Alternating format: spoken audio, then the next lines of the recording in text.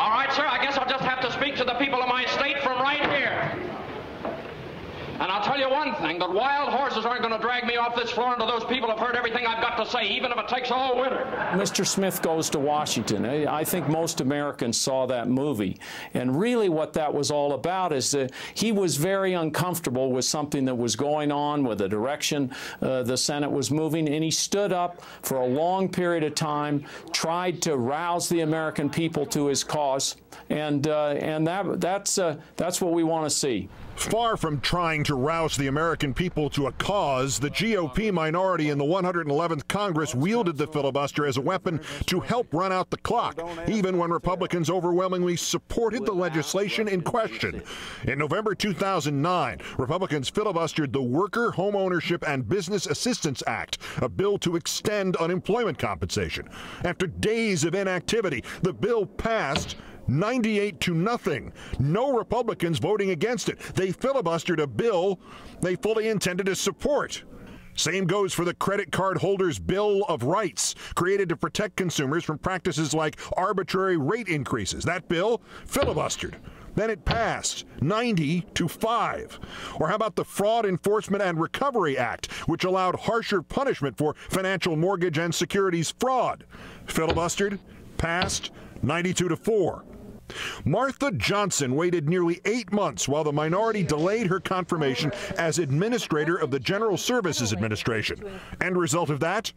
Confirmed 94 to 2. Wait, scratch that. Senators Jim Bunning and Jeff Sessions subsequently changed their two no votes to yes votes. Eight months of filibustering, no opposition. Senator Franken was left questioning the sanity of his fellow lawmakers. This month, my colleagues forced a cloture vote. They forced a cloture vote to approve a judicial nominee for the Fourth Circuit Court of Appeals. She was then confirmed unanimously, 99 to 0. And yet we were forced, uh, forced to vote for a filibuster. That's nuts. It was not always like this. For the better part of 200 years, the Senate was rarely exposed to the filibuster. In fact, were it not for Aaron Burr, we may never have had any filibusters. As vice president, Burr proposed doing away with a little used Senate procedure that ended open debate on legislation. In 1806, the Senate changed the rules, creating the potential for endless debates on bills, later called filibusters.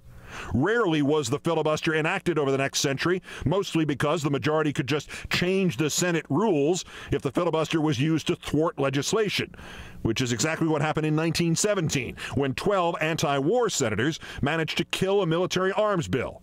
President Woodrow Wilson urged the Democratic Senate to change the rules.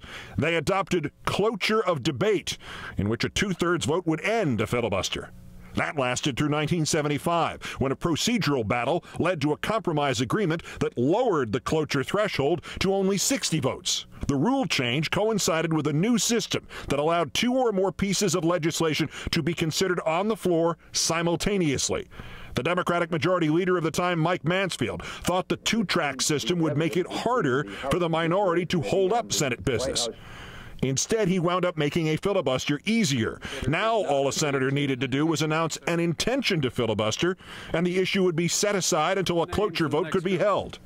This type of procedural filibuster was enacted 136 times by the 111th Congress in 2009 and 2010, which is why Senator Udall and other Democrats want the Senate to go back to its roots.